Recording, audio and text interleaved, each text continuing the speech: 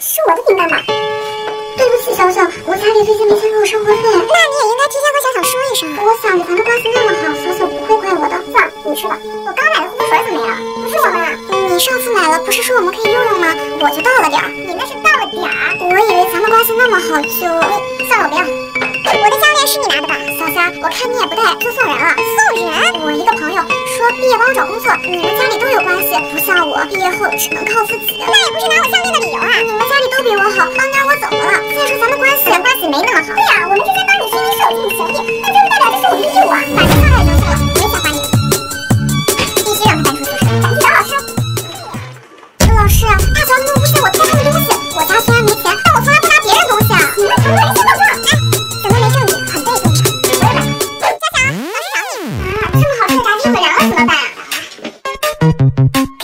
让你们说我。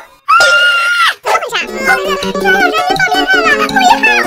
我的炸鸡那你们不能吃。我我上次不是还说从来不拿他们东西吗？老师，你听我解释，话都说不清楚还解释。老师，我想换个宿舍。之前我就问过其他宿舍，他们都不愿意和你做室友，你还是自己。